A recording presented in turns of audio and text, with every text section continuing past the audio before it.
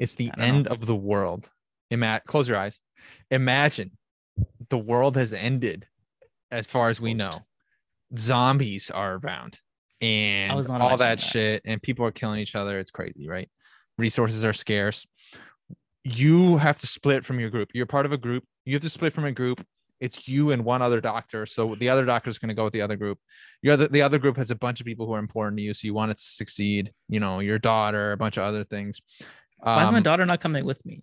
uh just based on the circumstances um so what type of doctor are you picking what type of doctor do you want in that group you you could pick you know up yeah do you want a podiatrist in there or do you want someone else you could like you only could one good answer. you could pick a nurse too what there's only one good answer. What?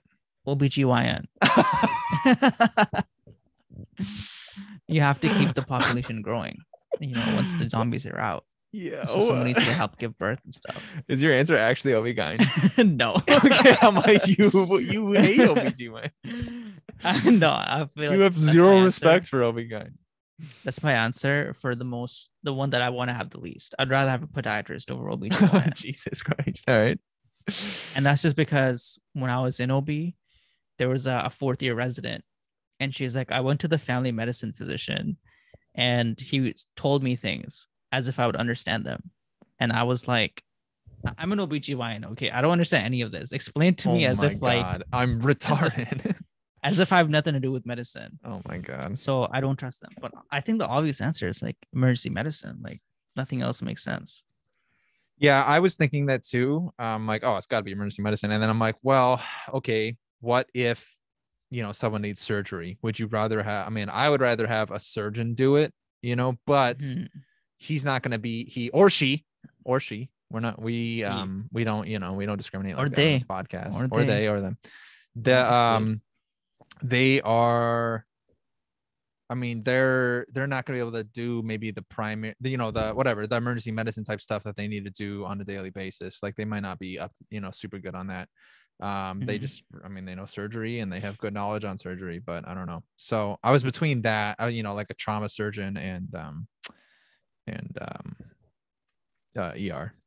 But but I think they they also rotate through surgery. Yeah, so they Or they yeah, can at some That's true. Yeah, that's true. And that's a, and and another thing is I feel like an ER doctor could kind of learn some of the because you're not you don't have state of the art equipment. Like it, this is the end of the world. You know what I mean? yeah. You're not doing laparoscopic surgery on somebody. So it's no it's are you pull you know pulling the bullet out or you know treating this infection like hey we just have to fucking cut it off you know or this person has this person has compartment syndrome we gotta we gotta like slice and dice a little bit so it opens up Mhm. you know I, you're not you're not doing super complicated surgeries you know or uh, fuck okay we have to drill into the head a little so that it relieves the the blood pressure compression but a lot of those things like I feel like a lot of surgeries are like done you know if you're at the end of the world.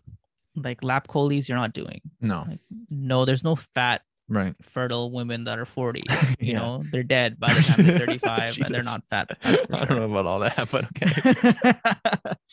A lot of surgeries are like you know you don't need them unless someone's appendix burst or some shit I guess, yeah. Yeah. But you're not doing a lot of surgeries Like, Yeah, a lot I- of it is I agree. stupid. Yeah, you're not exactly replacing uh, knees or anything.